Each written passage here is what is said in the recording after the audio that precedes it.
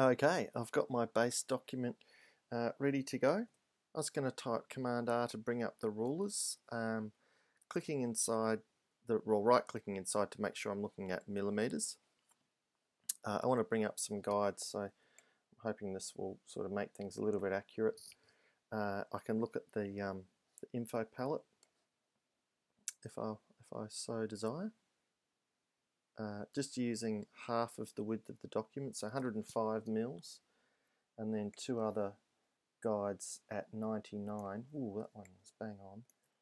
And 198 mils, 198, which divides the page um, into perfect thirds.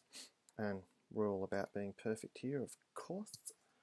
Um, okay, so I can get rid of my rulers. Um, and what I would like to do is to uh, start using the rectangle tool. Rectangle shape tool, a vector tool. I'm making sure that it's working in shape mode, not path or pixels. Uh, it's going to be filled with pure red, which is exciting. Uh, and I'm just going to click and drag outside the top left hand corner down so that it snaps to the, the middle guide that I've created there. So in my layers palette I can see that I've got uh, a shape layer um, sorted out there. That little icon's telling me it's a shape. Uh, I want to add a circle. In fact, what I want to do is subtract a circle from this shape. So I'm going to use the ellipse tool this time in shape mode. Uh, the one difference, I'm not going to, I don't care about the color for the moment, um, is that I'm going to choose exclude overlapping shapes. So I've got the ellipse tool uh, and I'm just going to go ahead and from any of your intersections of edges and guides and stuff. Uh, click and drag and then of course hold down the shift key to make a, uh, a perfect sphere. Yay!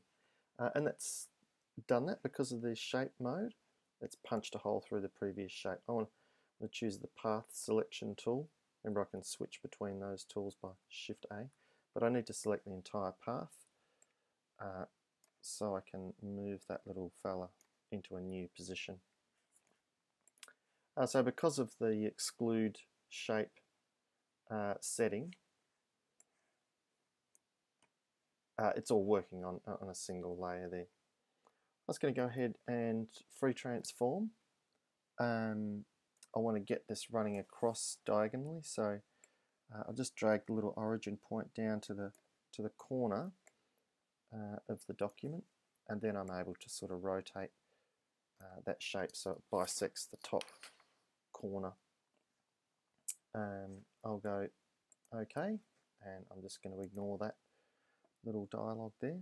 Uh, two other things I need to fix this bottom area, I'll do that first. So just typing Shift A to select the direct selection tool, which lets me get parts of the path.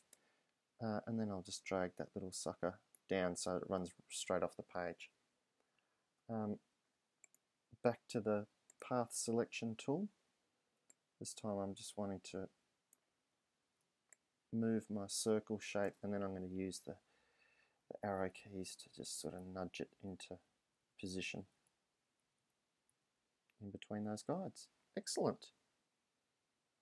Okay, that's pretty good. I better go ahead and save my document as a Photoshop thing and then I'm going to save as which is good practice isn't it? Yes to move on to the next stage.